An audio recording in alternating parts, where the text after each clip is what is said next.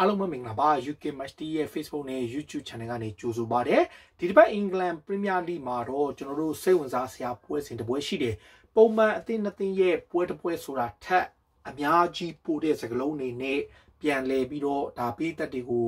ဒါပိုစိတ်လို့ရှားစီမဲ့ပွဲလည်းဖြစ်တယ်အဲ့ဒါကဒါလီဗာပူးအသင်းနဲ့ Aston Villa အသင်းတို့ရဲ့ပွဲပါကန်ရမှာကလီဗာပူးရဲ့ iconic Anfield ကွင်းမှာကန်ရမှာဖြစ်ပြီးတော့သူတို့ရှိကိုပြန်လာမဲ့ Villa အသင်းက သူတို့ရဲ့ကန်ဝင်ကစားမ Steven Gerrard ကင်တွဲတဲ့အသင်းလည်းဖြစ်တယ်ဆိုတော့နောက်ဆုံးလေးပွဲမှာ Steven Gerrard ရဲ့ Villa က Manchester City တသင်းနဲ့ကိုရှုံးပြီးတော့သူတို့သုံးပွဲနိုင်ထားတဲ့အချိန် Jurgen Klopp ကလည်းပြိုင်ပွဲဆိုမှာတကယ့်ကို on fire ဖြစ်နေတယ်ဒါပေမဲ့ပြောချင်တာကဒီနေ့ပွဲမှာတကြော့ပြန် Anfield ကိုပြန်မဲ့ Liverpool ရဲ့ကန်ဝင်ကစားမကြီးကို Club တင်းဘက်ကဘယ်လိုကြိုဆိုမလဲ Club တင်းကရော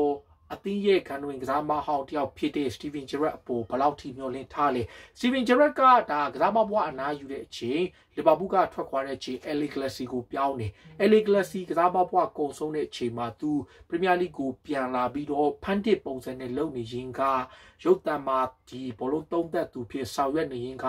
Scotland Club Ranger အသင်းကိုရောက်သွားတဲ့အချိန်မှာသူ့ရဲ့စွမ်းဆောင်ရည်တွေကိုပြတယ် Ranger အသင်းကို ဟိုးအောက်ကနေတန်းတက်လာပြီးတော့ Celtic နဲ့အကျိတ်နဲ့ပြိုင်နေရကနေနောက်ရာသီမှာပဲ Ranger ကိုတရားသီတွင်ရှုံးပွဲမရှိစံချိန်နဲ့အတူအမပေးချန်ပီယံဖြစ်အောင်ပြုလုပ်ခဲ့သလိုကိုနှစ်ဆက်တိုက်ဒါ Celtic ဘူဆွဲလာတဲ့ Scotland League ရဲ့ဒါချန်ပီယံဆုကိုအပြောင်းလဲလုပ်နိုင်ခဲ့တယ်။ Gerard ဘော်ကိုအားလုံးကမျှော်လင့်ထားတဲ့တနေ့နေ့တစ်ချိန်ချိန်မှာလီဗာပူးပြည်သက်တွေကမကတခြားတခြားသောပြည်သက်တွေအားလုံးက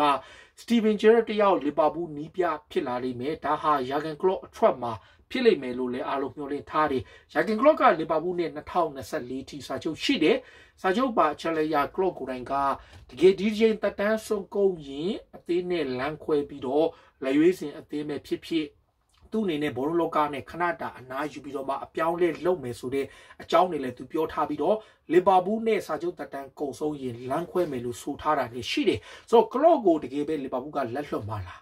လက်ကလော့ကရောလီဗာပူးနဲ့စာချုပ်တက်တန်းကုံဆုံးတဲ့အခါတက်တန်းမတိုးပဲနဲ့အသေးနဲ့လမ်းခွဲသွားမလားခမိုင်းရအရန်ခတ်တယ်လက်ရှိယာဂန်ကလော့တီဆောက်ထားတဲ့လီဗာပူးတင်က2015ကနေခု2016ထိ6နှစ်တာ2021ထိ6နှစ်တာကာလအတွင်းမှာအရန်ကိုအောင်မြင်တဲ့အသင်းတစ်သင်းဥရောပထိပ်တန်းအဆင့်ရှိတဲ့အသင်းတစ်သင်းဖြစ်နေတဲ့အချိန်ကလော့အထွက်မှာလီဗာပူးရဲ့အသင်းရဲ့နီးပြအဖြစ် ဘသူဖြစ်လာနိုင်လဲဒါကျွန်တော်တို့စဉ်းစားကြည့်တာပေါ့ယာကန်ကလော့ပဲဖြစ်ဖြစ်ဟိုးအစောပိုင်းကစာအလက်ဖာကူဆန်တို့အာဆင်ဗင်ကာတို့ဆိုရင်လည်းထွက်မယ်ထွက်မယ်လို့ပြောပေမဲ့တကယ်တမ်းကျတော့တက်တန်းတွေအချိန်ကြီးတိုးပြီးတော့နောက်ဆုံးနှစ်ပေါင်းဒါ20လောက်ထိတွားခဲ့တဲ့အချိန်ကြီးရလီဗာပူးနဲ့ကလော့နဲ့လည်းဒါကာလာရှီချာနီးပြတယောက်ဖြစ်လာနိုင်တယ်ဒါပေမဲ့လည်းတစ်ဖက်မှာ new generation ဖြစ်တဲ့သူတို့ရဲ့ကနဝင်ကွင်းလင်ကစားမဟောင်း Steven Gerrard ကလည်း Aston Villa မှာသူထိုက်တဲ့ပြသမှုတွေ Glasgow Ranger မှာလည်းသူအောင်မြင်မှုတွေနဲ့သူ့ရဲ့အရေးချင်းကိုပြသထားတော့ Liverpool အသင်းဟာယာကန်ကလော့အထွက်မှာဒါချက်ချင်းပဲ direct ကိုခံမလားဆိုတဲ့ချက်ပေါ့ MV ကိုလာမယ် ကျွန်တော်တို့စနေနေ့မှာညနေ3နာရီမြန်မာစံတော်ချိန်ည9နာရီခွဲမှာတကြောပြန်လာမယ် Steven Gerrard တယောက်အန်ဖီကွင်းမှာသူဘလူးဘာတွေလုပ်ပြမလဲအန်ဖီကွင်းရဲ့အမှတ်တရတွေများစွာနဲ့အောင်မြင်မှုတွေအများကြီးရယူခဲ့တဲ့ Steven Gerrard ကိုရောလီဗာပူးပြည်သက်ကဘလို့တုံ့ပြန်မလဲဗီလာနီးပြအဖြစ်ပြန်လာတာထက်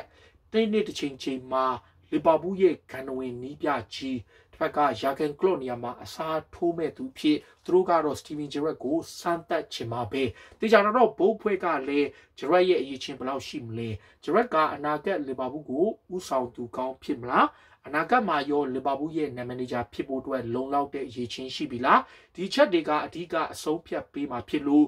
လီဗာပူးနဲ့အက်စတွန်ဗီလာရဲ့ဆုံတွေ့မှုထက်စီဗင်ဂျယ်ရရဲ့ဒါယာဂန်ကလော့နေရာမှာအနာဂတ်မှာအစားထိုးနိုင်မဲ့ဒါစာမေးပွဲ တစ်ခုဖြစ်တယ်ဆိုပြီးတော့ပြည်သက်တွေကမျှော်လင့်ထားတယ်ပြည်သက်တွေအနေနဲ့ဘယ်လိုမြင်လဲစတီဗင်ဂျယ်ရက်ကရောလီဗာပူးရဲ့နီးပြရာထူးကိုအနာဂတ်မှာပိုင်ဆိုင်နိုင်တဲ့အရေးချင်းမျိုးရှိပြီလားဒီဘက်ကရောလီဗာပူးကရောကလော့နဲ့ပဲဆက်ပြီးလက်တွဲတင်လာကလော့ဒါလက်ခံမယ်ဆိုရင်လီဗာပူးဘက်ကဘယ်လောက်ထိတက်တန်းတိုးမလဲ2024ထိကျန်နေသေးပေမဲ့ဒါတီလီဗာပူးနဲ့အက်စတွန်ဗီလာပွဲကစတီဗင်ဂျယ်ရက်ရဲ့ဒါလီဗာပူးနီးပြတဲ့ ဒါအင်တာဗျူးလို့တော့မှဒါအားလုံးကသုံးသက်နေကြတယ်ပြည်သက်တွေအနေနဲ့ဘလူးမြင်ကြလေကိုယ့်ရဲ့အမြင်လေးတွေကိုကိုယ်မှမဝင်အောင်မှတ်ချက်ပေးကြပါလို့ကျေးဇူးတင်ပါတယ်ရေတော်ဘုံအောင်ရမည်